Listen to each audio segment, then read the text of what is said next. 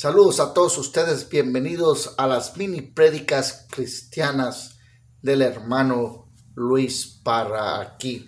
Bueno, en, este día les voy a hablar a ustedes de la palabra de Dios que dice en Nehemías eh, y dice así la escritura y en respuesta les dije, el Dios de los cielos, Él nos prosperará y nosotros sus siervos nos levantaremos y edificaremos porque vosotros no tenéis parte ni derecho ni memoria en Jerusalén.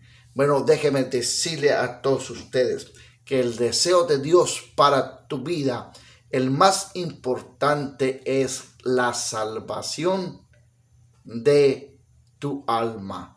La salvación es lo más importante en el mensaje de la palabra de Dios porque no quieres tú vivir una eternidad en el infierno. Primeramente, la palabra salvación abarca primeramente el salvarte tú después de la muerte. ¿A dónde vas? ¿A dónde vas a ir tú después de que mueras? Es una pregunta muy importante. La palabra de Dios dice que la vida no termina aquí en la tierra. Yo he visto en, muchos medios, en el Facebook, en, en redes sociales que dicen, toma y bebe, diviértete, que el día del mañana vas a morir. Bueno, no estamos aquí, de acuerdo a la palabra de Dios, dice, no estamos aquí nosotros en la tierra para servirnos y hacer todo lo que nosotros queramos. El hombre es una criatura criada. Somos criados por Dios. Dios nos hizo para servirlo. Eso no quiere decir que te vas a encerrar en un monasterio, que te, que te vas a, a ir caminando de rodillas o como hacían algunos cristianos en el siglo XIX, tomaban un látigo y se golpeaban. Dios quiere que tú goces la vida abundantemente, pero no puedes hacer todo lo que tú quieres hacer. La palabra de Dios fue inspirada por el Espíritu Santo, fue inspirada por Dios a, a hombres fieles que conocían a Dios. Dios nos ha dado en su palabra el camino a la salvación. Lo que Dios quiere que nosotros hagamos en esta vida. Bueno, primeramente Dios quiere que reconozcamos que necesitamos de un Salvador en esta vida, que el hombre no puede salvarse a sí mismo. Déjame decirte que tú no puedes salvarte a ti mismo. Somos criaturas de Dios.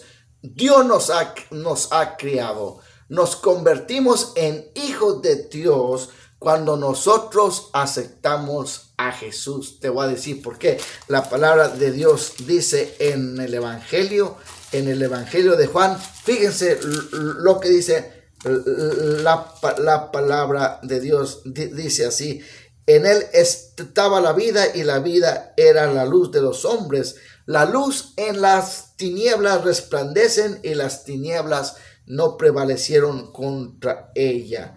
Eh, eh, eh, dice así, así, y a los suyos vino Jesucristo y los suyos no le recibieron, dice, mas a todos los que le recibieron, a los que creen en su nombre, les dio potestad de ser hechos hijos de Dios.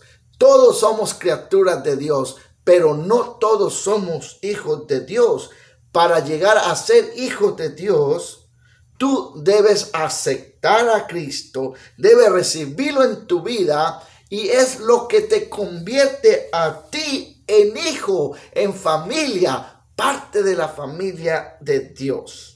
Y dice así que a todos los que creen en Él, Él les da vida eterna.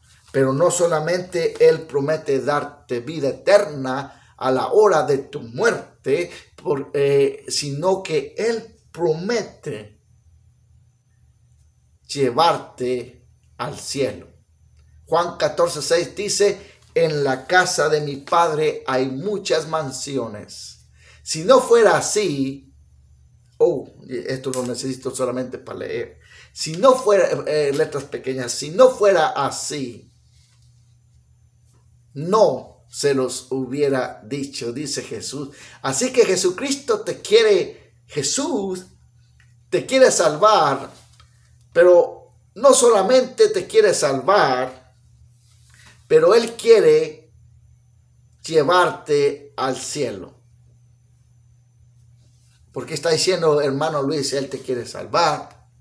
Está dando, está hablando de dos cosas diferentes. No, salvación no solamente significa tener vida eterna, ir al cielo, significa también que cuando tú estés aquí en la tierra, prosperes, te levantes y te, te edifiques. Dios tiene un propósito para tu vida bien importante. Oh Espíritu Santo, te invito en este día a que desciendas sobre nosotros.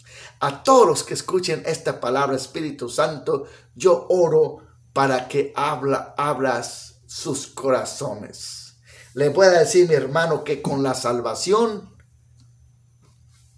viene la prosperidad. ¿Qué es salvación? Le voy a decir en la Biblia, cuando ponemos la Biblia junta, para los judíos salvación era no solamente el quizás vivir vida eterna, quizás abrir un cielo, porque en los tiempos de los judíos no estaban completamente seguros de la vida eterna, del cielo, del infierno. Había vagas ideas de, vivir eternamente, de resucitar. Otros pensaban que no iban a resucitar.